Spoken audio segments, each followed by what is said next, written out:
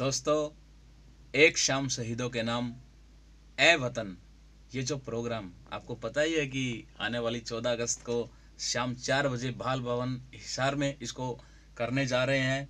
बल्कि कहेंगे हम तो हम सब मिल के कर रहे हैं, सभी आर्टिस्ट वहाँ पर, सभी सादर आमंत्रित हैं।